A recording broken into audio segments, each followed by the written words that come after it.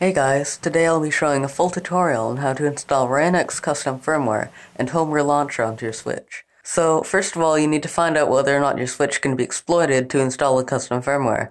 To do that, head over to the GBAtemp thread and check your serial number of your Switch to see if it can be hacked. Now that you know your Switch can be hacked, I would recommend using 90DNS to be able to connect to the internet with less of a risk of being banned by Nintendo. This is optional, but it'll be handy later as you'll be able to use things like the Homebrew App Store, which require internet access, and you won't get banned.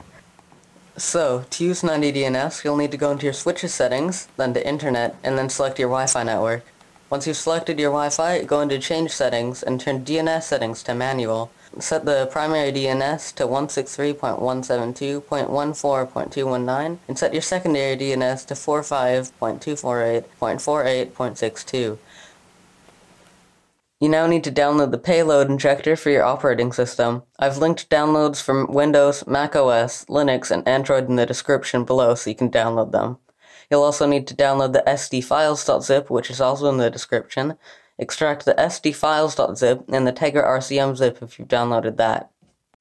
Okay, so now you need to turn off your switch and take out the SD card. Insert it into your computer and copy the extracted contents of sdfiles.zip onto your SD card. Now that the files are copied over, put the SD card back into your Switch, but don't turn it on. Now you need to find a way to get your console into RCM mode. To do this, you'll need to buy or make a jig, or find some other way to boot your Switch into RCM mode, such as modifying your right Joy-Con, using tinfoil, or another way.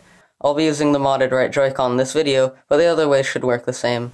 Once you have your jig or modded Joy-Con plugged in, you need to hold down volume up and press the power button at the same time for a few seconds.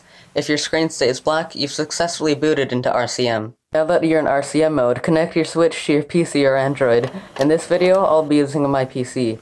Now that it's connected, open the payload injector program for your device. In my case, I'm using Tegra RCM because I'm on Windows. Once you're in the program, select the Hekate bin from the extracted sdfiles.zip and click on Inject Payload. Your Switch should now be in the Hekate menu. So, to navigate the menu, use the volume buttons for up and down and the power button to select.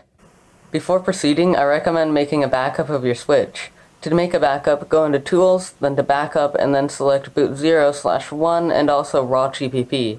Once you finish making those backups, which will take a while, at least one hour, then go back into the main Hekate menu. Now, go to Launch, then Payloads, and choose a ReiNX.bin file.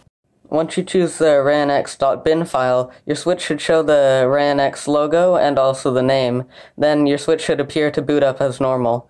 That means that it succeeded. Once your switch has booted up, try going into the album and you'll be in the Homebrew menu. You can use the Homebrew App Store to download more Homebrew apps, like emulators, tools, or other things. So yeah, that's about it for this video. Thanks for watching. If you liked it, then why not subscribe? If you didn't, then you can tell me why in the comments so you can help me improve.